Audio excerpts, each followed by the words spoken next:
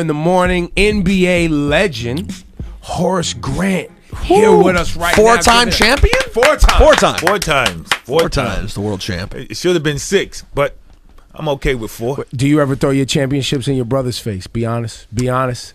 Always. Always. Just walking through the airport, people, Horace or Harvey? I'm like, uh, Harvey don't have these. Whoa, come on, man. Let me see that ring. Can, is that hard? Easy to come off? Can I, can I see it real quick? Oh! There Let's see go. which one he keeps on now, him. Horace, you're still pretty in good shape, man. Like you don't, you know, some ball players you see from your time, they didn't hold up so well. You mean like Charles Barkley? Oh, come on. Uh, no, but you know, Chuck is Chuck. But uh, you know, I, I try to work out three days a week. Uh, So you uh, still, but do you play basketball? Is that part of your routine? Are you still out here running around hooping, or uh? No, I just go out and shoot, uh, run up and down the court uh, with some friends a uh, few days a week, and uh, nothing crazy like uh, you know a men's league or anything Yeah. like that. Somebody might try to hurt you, make a name off you. yeah, trying to you know undercut me, you know. But uh, if somebody ever did, um, I seen you. I seen you getting a couple of skirmishes. Oh out yeah, you've been in a couple of you liked you liked dust ups. You were scrappy back then, Horace. Don't get it twisted. That I remember it well. This is the basketball I grew up on. You got it. Hey. You like to scrap a little bit. well, it's in the, it was in the eighties and nineties, you know. Uh, and of course, I played in two thousand with uh, with the Lakers. But uh, back in the day, man, you know, uh,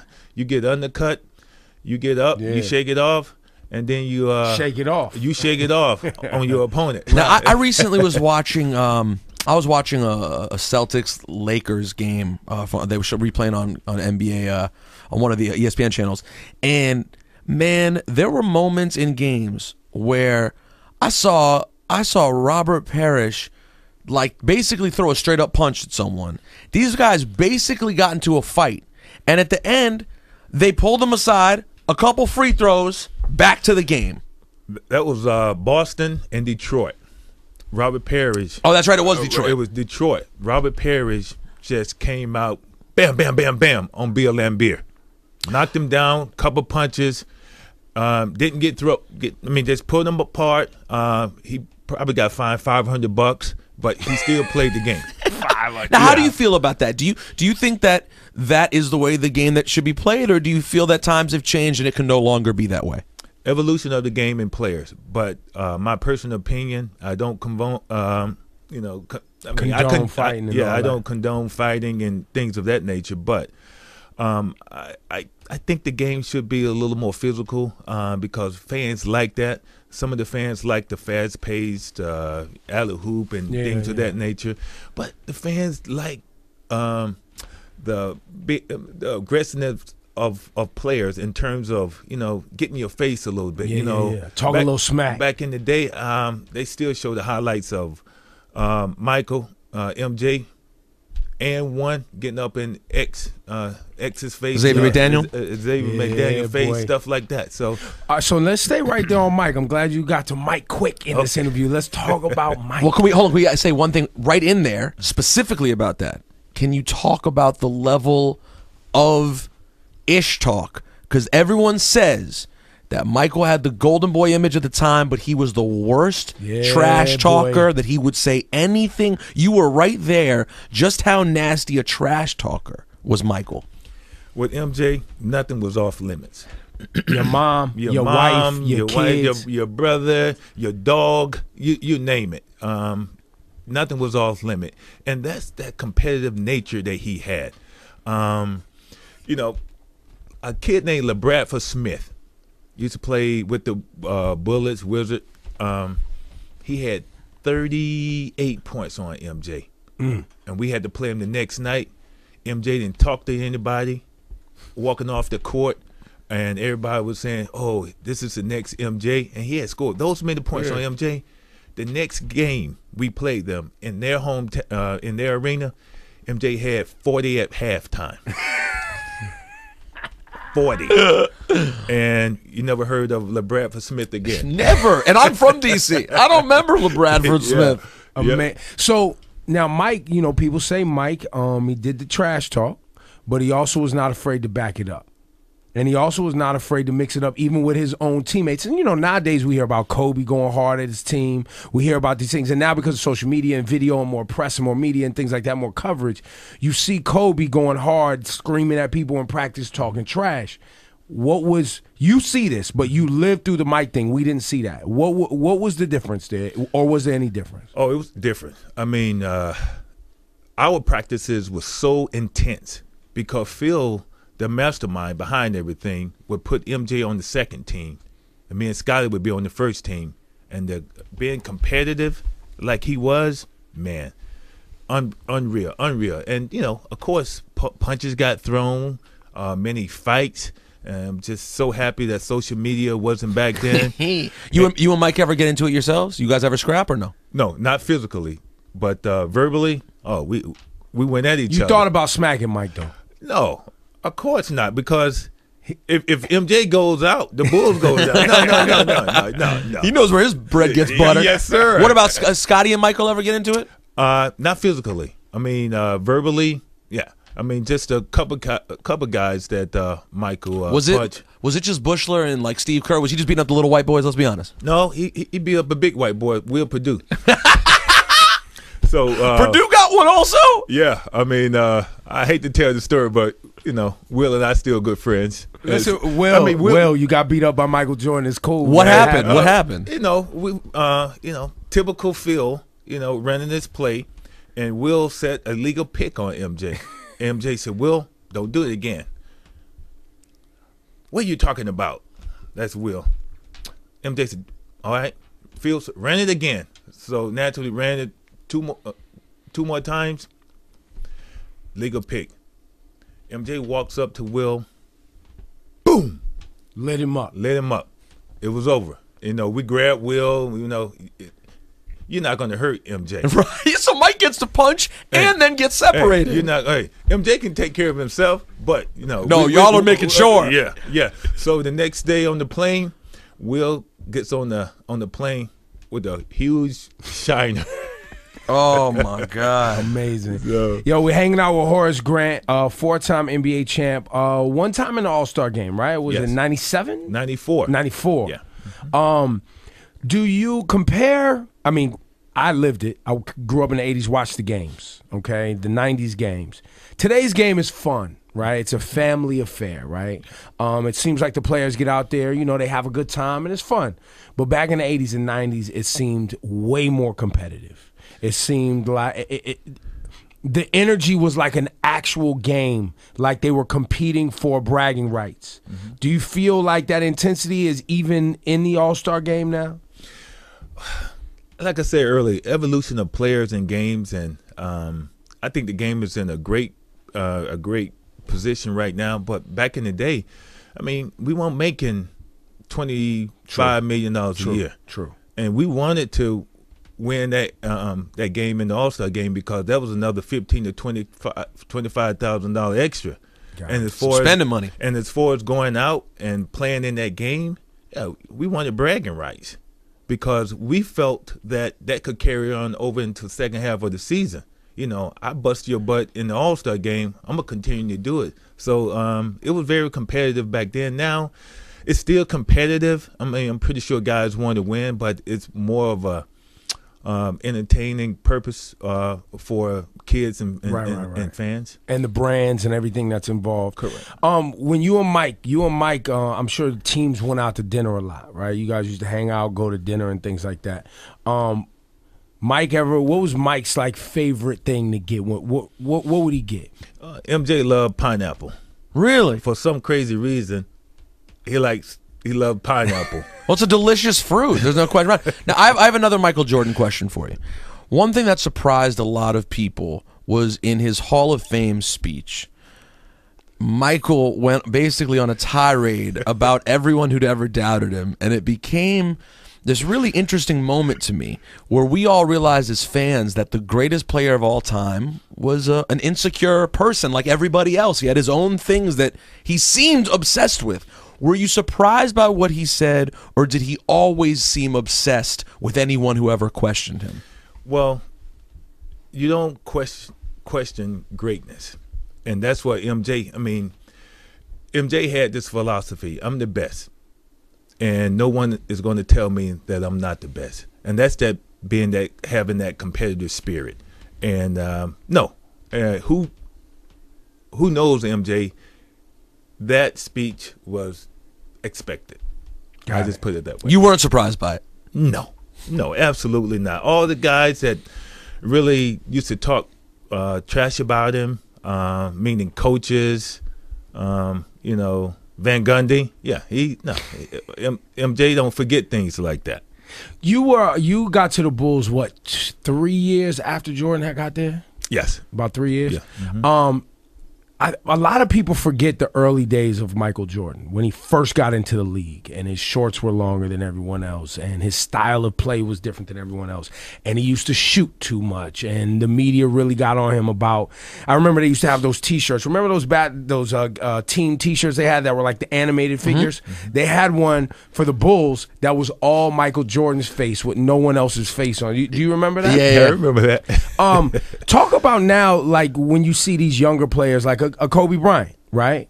Um, going It's funny through, to say, like younger players, like Kobe Bryant, who's now an old man himself. who's an old man himself, right? But um, talk Horace about why or will Kobe ever be Michael Jordan? Is it all? Is it just about getting that sixth ring, or is there something else that you see being played with Michael, watching Kobe that? You see similarities. He could be, or he'll never be. Well, I had the uh, a great opportunity to play with them both. You know, MJ in Chicago and, and Kobe with the Lakers. Um, the you can compare them because it's their uh, attitude towards the game and their opponent um, was is so so similar, and the passion for the game. Um, uh, but you know, only one MJ, and I and I say that in the respect of, of course, Kobe winning five, helping win five NBA championship.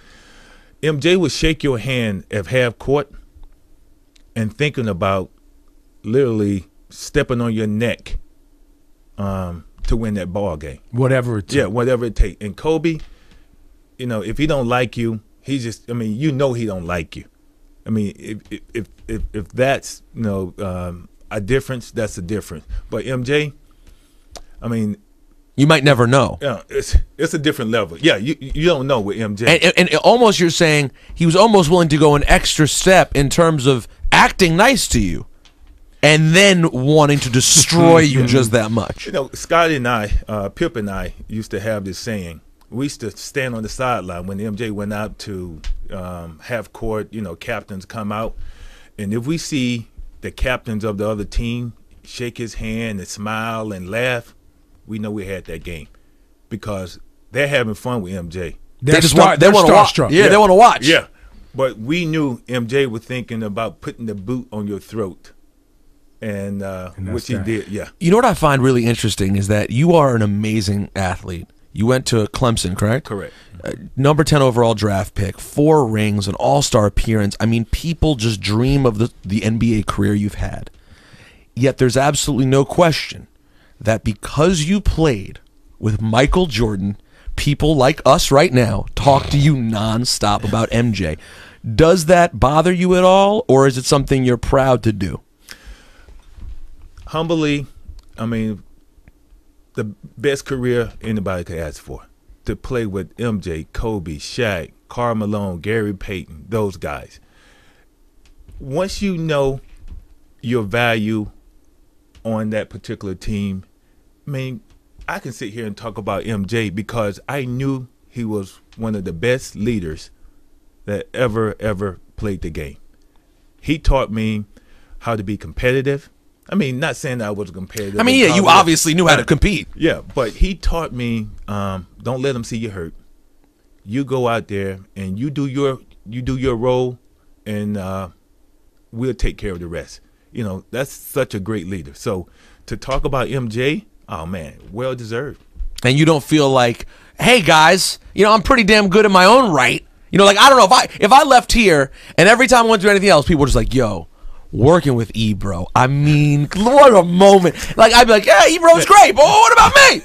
but I mean, with MJ, it's just something you're. I guess you got to just be happy to be a part of it. Listen, man, listen. I mean, like I said, a great leader, and if it wasn't for MJ, I, I don't think I'd be sitting here right now. I mean, not saying that I wouldn't have a, a pretty decent career, but uh, for a leader to lead you to three you'd have been, you'd have been like your brother, is what you're saying. I didn't say that, Harvey. Well, no, hold on. I'm from, I'm from DC now. You I, am Harvey from, was nice I'm from now. DC, and Harvey was a hell of a player. But Harvey was playing next to Jeff Malone and Bernard King, who were fantastic players, but they weren't MJ. Because Yeah. you guys weren't that different in skill, right? You guys were in the same ballpark. Well, Harvey was a small forward. I'm power forward. You know, he liked to shoot the jumper, and um, I like to mix it up. So that was a little difference in our games. But man, he had such a, a good career when they were the Bullets. I mean, I'm reading the papers, and he's averaging 18 points, and I'm averaging 11. You want to Uh, hold that uh, hold that hand up though. Yeah, Put the hand up. I know. time. Then um, Yeah. By the way, it's the 91-92 Bulls ring, in case you're wondering. That he's. I'm gonna put it on Instagram for everyone. it was all good. Um, Phil Jackson. Um, can you tell? You said you said earlier the mastermind, right? Um, I think you know Phil was the first coach that we ever got to hear about actually masterminding, not just things on the basketball court, but things off the basketball court. Like the time that Michael supposedly had the flu. Mm-hmm. right? There's conspiracy theories where it was like Mike wasn't sick. They did that to get the other team to be like to relax so that Mike could go out there and put him to sleep. Mm-hmm. Right? And you just spoke about Mike shaking hands, being chummy chummy with the other team to get them to relax a little bit so y'all go for the kill. Is that real? Was it did it was it that far along where even off the court y'all were masterminding strategies to get the media to play into certain things so that you guys could go for the kill? That was all Phil. Um, speaking of uh, PJ, I mean, for a guy to um, have all different ter- uh, types of personality coexist, you know, MJ, Pip, myself, the first three. Then you got Dennis uh, coming on for the last three, and Ron Harper. Um, it, it takes a genius, man, because we all had egos. Um, you know, we all wanted to to have some of the spotlight, but uh, Phil did his thing. He did his thing, and as far as uh, the flu, MJ had the flu. Mm. He had the flu, and he was he was really So truly. gonna keep going with the story. Hey, he was no, he was he was, he was truly sick. but um, and but you know, even on his deathbed, he just he was just that great. You guys, Horace Grant's here, giving us great talk. Thank you very much. Um, the All Star Weekend is taking over the entire New York City area. And there's actually two NBA houses, right, where Yeah. people can go uh, see see uh, former players. Yourself, Horace Grant will be there, Yeah. autographs, all that. Where's that at, Rosenberg? So you have um you have the NBA house in Manhattan, Skylight at uh, Moynihan Station. Um, that is going down all week, February 10th through the 16th, and then the Brooklyn location is LIU Brooklyn Paramount Theater, February 11th through 15th. And tickets for NBA House are on sale uh, starting at 10 bucks. You can go get them at NBAtickets.com. Great opportunity to hang out with legendary players like this guy. Yo, big up to the NBA for um, setting us up for Horace Grant to come through. Talk about where you see players today. You were talking about how Phil mastermind and keep egos together, and we see a lot of egos now, right? Like even right now, LeBron and Kyrie Irving and Kevin Love learning how to play together. They're, they were all superstars in their own right, and now here they come together and trying to put together a team. Do you um do you see players struggling with that knowing their role thing a lot more now than when you played? Well, when I played, you know, we not saying that guys don't play for the love of the game because ninety eight percent of them do, but back in the day, I mean, you know, the dollars wasn't there per se like it is now. Um, it was all about winning. When you won back in the day, you knew you were going to get that first, uh, get that championship ring, and then you were going to get a nice bonus. But now, today, I mean, uh, the championship ring is the ultimate goal for these players. But you know, they're making 20, 18, 20, 22 million dollars, and saying that, um, um, Kevin Love, LeBron James, and uh, Kyrie Irving, it's going to take a little time for them to mesh because, as you said, you know, um, different teams, they're, I mean, they were the guy, and in order to be successful, you had to put those egos aside and know that LeBron is, Is the, the guy. man, is the man. I mean, Kevin Love, uh, my advice, you know, be a rebounder, hit the open jumper, play some defense. Let LeBron do LeBron. Let LeBron be LeBron. and Kyrie distribute. hey, Kyrie distribute. Uh, he can, you know, he can And you, he's gonna have his nights like he did the other Yeah. night when he had 55. Last night he dropped 55. He can score next question. LeBron wasn't playing. Now, oh, but, but, but Horace, don't you think also back then? Let's be honest, there weren't as many guys on one team. I mean, the Bulls were Jordan's team, and as much as Pippen is an all-time great, he is head and shoulders beneath Michael Jordan. Michael was the clear cut, no question about it. You know what I'm saying? You guys all it was basically a team of great role players Right. and you're one guy. Do you think that maybe that formula is a little better than having multiple big time scorers on one team? Well, guys have to look at it right now. That's LeBron's team. No, I mean no. That's disres- LeBron's city. Yeah, State. state, state, state. Yeah. But that's his team. Yeah. That's it's his team, and and in order for them to be successful, uh, regardless of the the talent uh, he has on there, um, he has to take over. He has to take over, and and not taking anything away from my man Pip. I mean Pip, man, let's Hall of Famer, uh, 10, 12 time. Yo, I'm gonna tell you something broke my heart with Scottie Pippen though. Something What? broke my heart. After Jordan retired, Scottie went on to play. I think he went to play in Portland, Mm-hmm. right? It was a, he got so frustrated trying to be a leader. I, y'all remember this? I remember it well. Scottie was on the sideline crying one time. He had got so frustrated trying, you know, because the pressure of Jordan's retired. Will Pippen be able to carry a team? Is he the star that you know he was? And he was good. He was good. but it wasn't it wasn't like he left and became Michael. Well, remember this when MJ retired in uh, '93 or after the '93 season, Pip took over the Bulls. Yeah. And he led us to 55 wins and playing the Knicks here on this call that uh, the referee said he fouled Hubert Davis, and which Hubert shot two free throws with a second left, Yeah. and I'll never forget that. But that year, Pip was uh, MVP of the All Star game. He was running um, and running for the MVP. He had a great season. He had a But- great season. But Pip could he could have He didn't get the chip though. and that's what you know when you play with somebody like Jordan. That's Uh-huh. what you're compared against. Did you get the chip though without Jordan? I mean, listen, P- Pippen still had an amazing career, but I hear what you're saying. I'm just Yeah. No, listen. listen, this, is, it's hard. this is real basketball conversation that people have. How No, many how many chips did uh, MJ get without Pip? True indeed. good question. Zero. Zero. But I mean, it takes it takes it takes a team, but it takes really um, two guys, one guy knowing that he's the boss, and then for And lack his of a support. better phrase, And his support. and his support. How much uh, crossover? Uh, and we're gonna we're gonna let you go in a second, but how much crossover did you have with Oakley? Do you guys have a year or two together? Yeah. Oh, oh man, that's my that was my mentor. Really? He ta- he taught me, you? man. He taught me everything about basketball in terms of And how to fight. Oh, get get. He taught you how to fight. uh, sharpen your nails before you go out. Seriously, hey, sharpen your nails. You do whatever It takes. It, it takes, and you know, I mean, I, you know, All right, confession. Horace Grant confessions right now. Uh oh. Your dirtiest move. When you look back, everybody got a dirty move. Grab shorts, pinch a guy, you know, put the elbow right under the rib. Everybody got a little move. Stick your knee out when they're coming by the screen. Something, something. Horace Grant, go to dirty move. on the free throw line, and I know a guy is say it like a Kevin Willis or Rick Mahorn. I know they're going to punch me in my back to even on the free throw line. I stick my left foot out, my leg out, and just try my best to trip their butts. Yeah. Trip that ass. yes.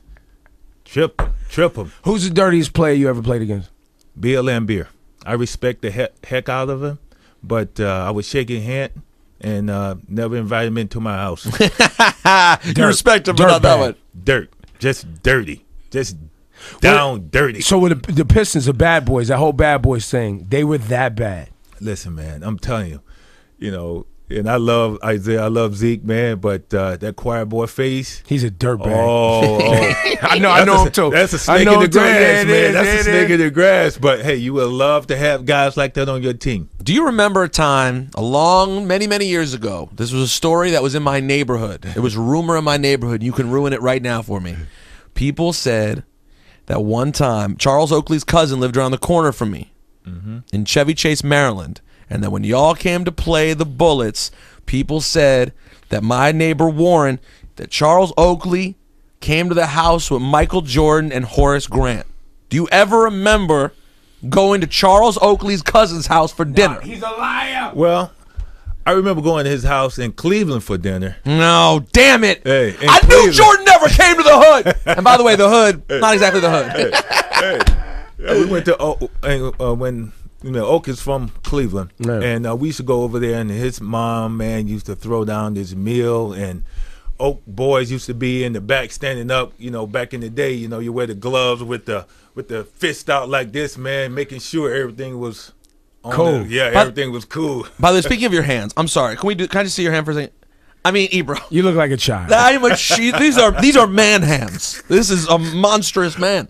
Uh, Horace Grant, um, he will you be at the NBA house during the All Star weekend? Do we got him on Oh, the yeah. schedule? We got him on the schedule. There's two locations. Run those locations again, bro. Uh, there's one. You, there's one in the city, of course. Um, that's open on from the 10th to the 16th at uh, Skylight, Moynihan Station, and then Brooklyn, LIU Brooklyn, Paramount Theater, 11th through the 15th. and the, the official title is what? The NBA All Star House. NBA House. Just NBA House. That's right. It's the official fan hub for NBA All Star 2015. You can hang out with uh, legends, um, appearances, yada yada yada. It's going to be awesome. Go ahead, I, Horace. uh, I just got on social media, so you got to hit me up on. Uh, Get your plug in, Hey, Horace. Go ahead, hey, hey, hey, hit me up on Horace Grant 54 on I knew it. Twitter. I knew it was Horace Grant 54. Uh, I knew it. Instagram, all of that All stuff. of that. All of that. So, Um, the Knicks, your man, your man Phil Jackson and Derek Fisher, yeah. um, trying to pull something together. It's not coming together as fast as they thought it would, or at least the city thought it would. I'm sure Phil knew it was going to take some time. Um, any opinion on that? Because this is the worst the Knicks have ever been. yeah, it's bad right now. But I, I say to the Knicks fans out there, be patient. Phil and D Fish is going to get the pieces in here. Believe me when I say this, fans. They're going to get the pieces in here to make that triangle um, work. And believe me, they won a few games in a row that um, already. But be patient with these guys. I mean, you know, if if the triangle can work for MJ and Kobe, it's going to work here. Just need the pieces. You think And- player? You think some of these players now are lazy? They don't want to learn it. They want to free form. They don't. They don't want to commit to what the triangle really is. because when you're not winning, uh, you're thinking that okay, nah, this Let me not just play. work. Let Yeah, us let, play. Let us play. No, no, that's not Phil and that's not D Fish. And if you're that type of player, you're not going to be here for long. yeah. Yeah. yeah, for sure. All right, Horace Grant. Anything we? la- I mean, we got Horace Grant here, B. I, listen, Like, I, I know. Listen, but we, before we wrap this time. up, It's I, I, before we, I mean, listen. Anything that we didn't cover. Talked about MJ He, fighting. how about this? I heard that uh, I'm a Celtics fan, Oh. and I heard that uh, even though I'm wearing the fly Spurs throwback, but Eve, I heard that he hit the last shot in the history of Boston Garden. Yep, I was with uh, Orlando Magic. Last shot, closed it down. That's pretty crazy. Why didn't you wear your goggles today? Yeah. You should have worn your goggles. Well, you know, I I didn't want to sign too many autographs out there, man. You know, and I didn't want people hitting me with. Uh, So what you saying? So you don't wear your goggles so you can say that you're Harvey and not Horace? Yeah. you know, you know. Nick- Harvey gonna come up here and try to see me. Yo, oh, Ebro, don't don't. I don't want no problems, man. Come on, man. Horace, thank you, man. Uh, thank you guys for having me, man. Uh, can't wait to be uh, get back here on the 11th of February for All Star Weekend, Yeah, and man. looking for having some fun with the fans. That's what's up, man. Uh, shout. I know you want to shout your Instagram and Twitter one more time. yeah, Horace Grant, 54. My advice to you: Do not teach